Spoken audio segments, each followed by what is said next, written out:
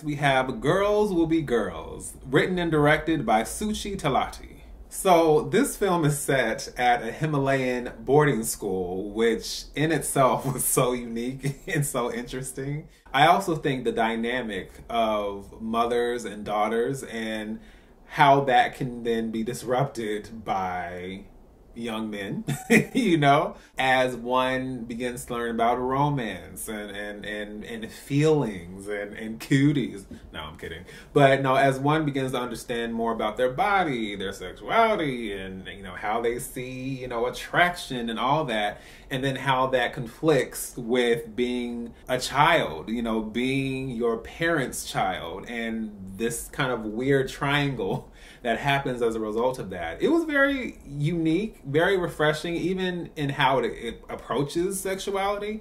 It's very, very different. And I think this, to use Sebastian as an example, I understand it's completely different films, but I at least appreciated that it was trying to delve into the naivete and and just the wonder, you know, of young people trying to make sense of their place in the world and what their bodies are supposed to do and all these things that are happening as they're getting older. So one I really appreciated, like different kind of insight, but like I said, I love just the cultural perspective and how that can shift from film to film, even though the coming of age experience is so universal. Speaking of which, we have up next Didi, directed by Sean Wang, which in Mandarin means little brother, which is very fitting because it centers around a young boy who, again, is coming of age and this particular story takes place in like, well, late 2000s, 2008 in the midst of the rise of social media and the internet and messenger of all these things lord you know experiences that i have mostly fond not always fond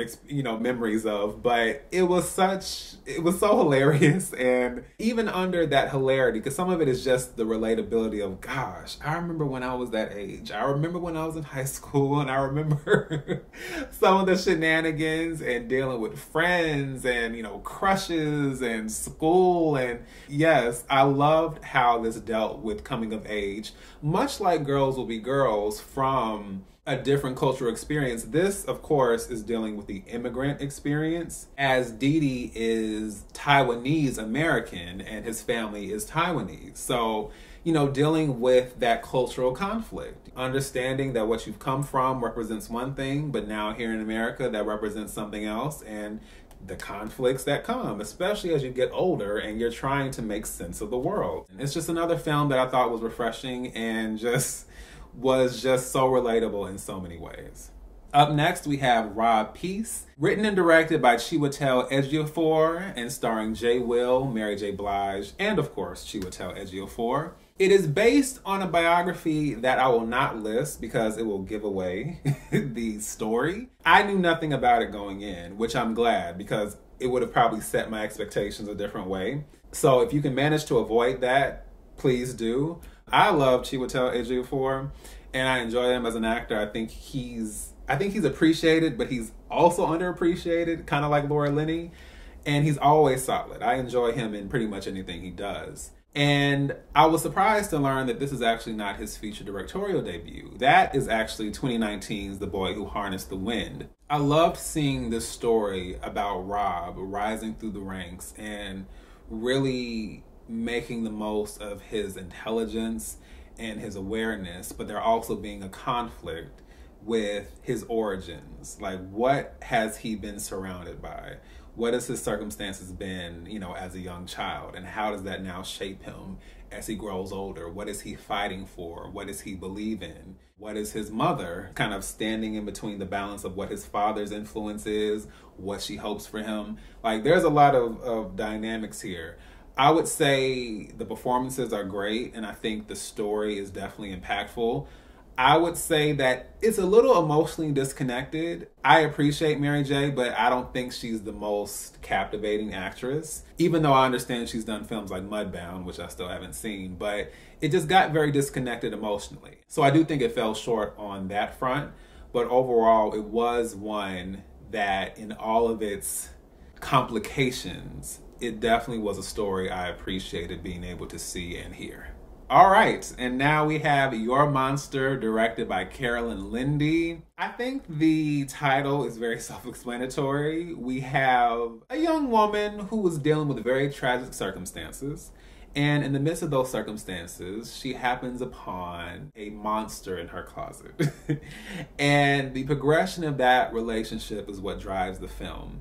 And if there's one thing I have to say about this, it's not like I ever thought Melissa Barrera was untalented because my introduction to her was in the film In the Heights, which I think she was pretty solid in. Then with Scream and all that, Scream is fine, but no one has to have Oscar worthy acting for that. We're just here for the kills. But if there was ever a film to really highlight just how talented she is, it's this film. Like, she had me laughing, had me crying, had me kind of scared in a couple of moments. I really, really enjoyed it. She was almost a one woman show. There's other stuff going on, but she she was great. I do think that the early dynamics of the main character and the monster is very kind of like, eh, okay, I think I've seen this before. You know, this is gonna be some kind of Beauty and the Beast remix. And it actually is more than that. And I think it's shocking to see what the film uncovers about both of those characters and what the reality of that is. But definitely a charmer, uh, definitely a lot more in your face than I expected. And I think that it's one that, for the most part, a lot of people are going to enjoy. And I hope they do because I absolutely enjoyed it. And when we got to that ending, whew, just you wait and see. All right, now we are officially in my top five, starting with Frida, directed by Carla Gutierrez. I had the chance to see this on day one of the festival. That in itself was exciting enough, but actually being able to see a documentary centered around this legendary figure that I was already familiar with what a great experience. Hearing from Carla Gutierrez, the director herself, hearing from her team, and of course, if you've seen my short at the festival, you've heard some of my thoughts on this film. I also have an extended version on my TikTok, so you guys can go check that out. But yeah, I don't think there's a whole lot to say. I think this film does justice to the complicated, intelligent, layered, imaginative visionary that Frida Kahlo was. And just seeing the different dynamics of who she was was very rewarding. So it's not a whole lot I can say. If you guys have Prime Video, it is officially available there. Please feel free to check it out because, man, I'm probably gonna have to do a separate review, even though I know it's not so much more that I can say, but what a great experience. I I enjoyed it so so much. Great start to the festival for sure. All right, at number four, we have It's What's Inside, written and directed by Greg Jardin. Unfortunately, I can't say too much about this one because I don't want to give anything away. All I will say is that it concerns a group of friends that come together and they discover that one person in their friend group has brought along a suitcase. And naturally, what is inside their suitcase takes them on an increasingly shocking and perilous journey. I know it's like, whoa, man, what is that? I didn't know anything going in. It was just like, okay, there's a suitcase, something's in it, what's going on? Wow. I don't know what I was expecting, but this this this threw me for a loop. And I can't wait till more people are able to see it. I was so excited to see Brittany O'Grady because I was already familiar with her from the first season of The White Lotus, and I thought she was such a great protagonist in this film. And things escalate very quickly. You kind of think you're going in one direction and then something happens and it's like, yo, what is this? So, yes, I know that's very vague, but I don't want to ruin it. But when It's What's Inside comes out, please, please go see it for yourselves because, yes, awesome experience. And at number three, we have a very intense and whew, very timely film called Sugarcane, directed by Julian Brave Noisecat and Emily Kassie. This film, which is also a documentary, is centered around an investigation into abuse and missing children at an Indian residential school, which then ignites this unexpected reckoning on the sugarcane reserve. I was hesitant to watch this because I knew that the subject matter was going to be a lot. And sometimes really sensitive material like this, especially when it comes to the handling or mishandling of children.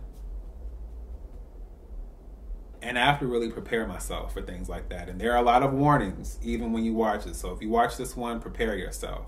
When I was watching this, I thought of the really great conversations I've had with an awesome YouTube pal of mine, Foxtail Cinematics, and the importance of native indigenous representation and storytelling and so on, and how important that is, and even how important it is for me, again, like with Sundance as an example, seeing these stories being told.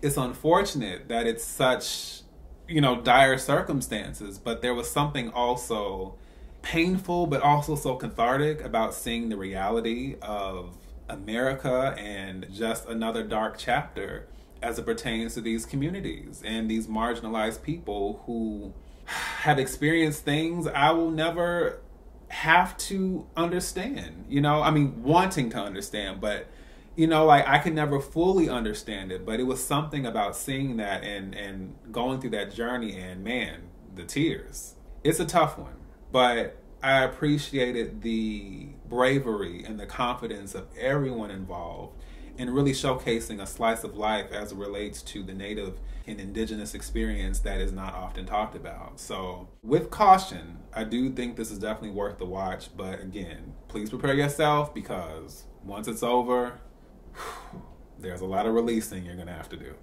At number two, we have Exhibiting Forgiveness, written and directed by Titus Kaphar.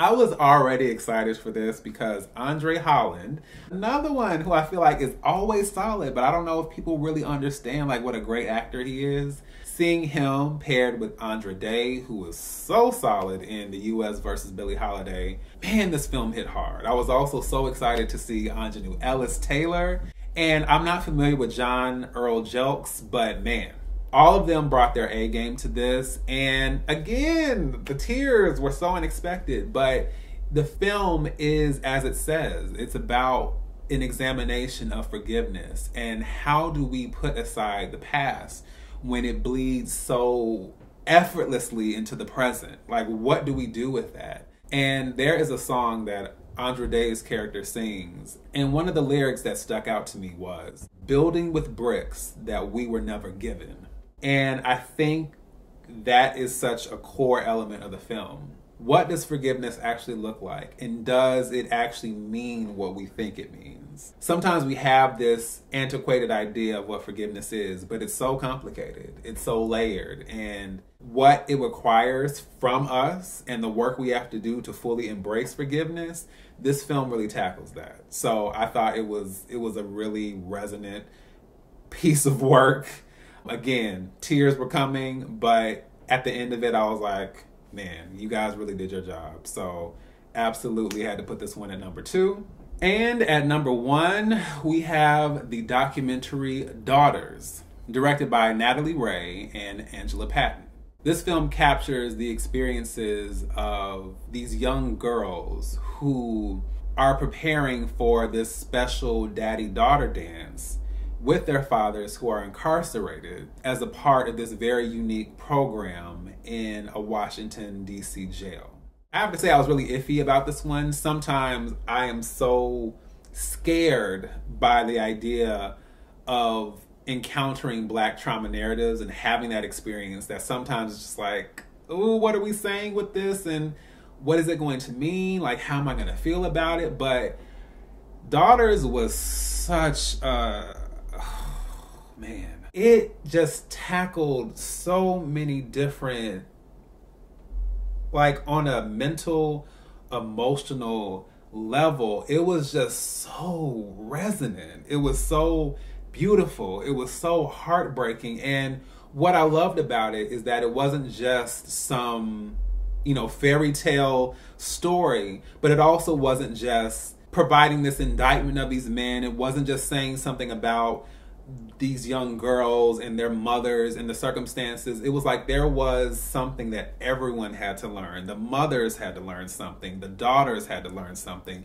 The men especially and understanding what their actions have done to separate them from their daughters and what it means to really understand what they have lost as a result of that.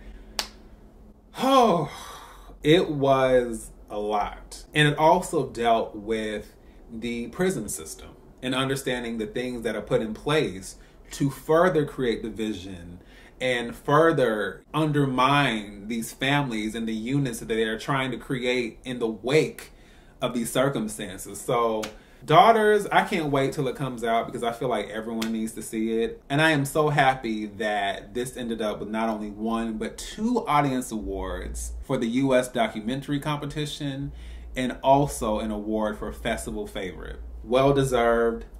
I can't say anything else. I hope everyone gets a chance to see it because, man, that one got me. And I'm so glad I took the opportunity to watch it.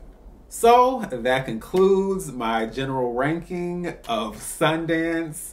Yeah, Sundance just continues to prove why it is such a necessary and important film festival.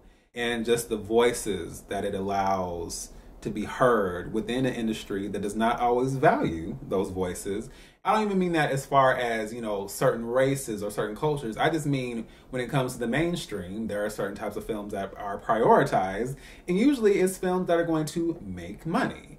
And this is the opposite of that. It's saying that regardless of whether you feel that you're that type of filmmaker, whether you feel your story, you know, may not make money or whatever it is, it's like your story has value. You have something to say and it will be heard. And I think as someone who obviously on this YouTube journey has had to reckon with the same thing, I can absolutely relate, you know, to that sentiment. And kudos to Sundance for allowing this platform, this festival, the institute, all of that to have a hand in pushing all that forward. It is so necessary, so important, and I am so thankful that it exists. So, once again, this is D Movie Man signing off, and I'll see you with the movie.